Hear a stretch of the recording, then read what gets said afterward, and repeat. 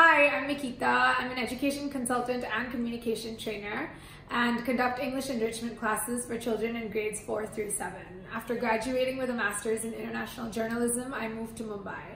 I currently conduct classes for children and also work at the Red Pen as an education consultant. Um, English isn't always everyone's strong subject, and I really believe that um, unless they learn in a way that is interactive and engaging, children learn, children retain very little information. So previously in my classes, what I did was that I made them learn a little bit about World War II. They read a little bit about Hitler. Um, we read the novel Number the Stars. And then we did letter writing activities and um, reading comprehension activities based on the novel. So children loved the idea of thematic learning and actually also improved their vocabulary and grammar in the process.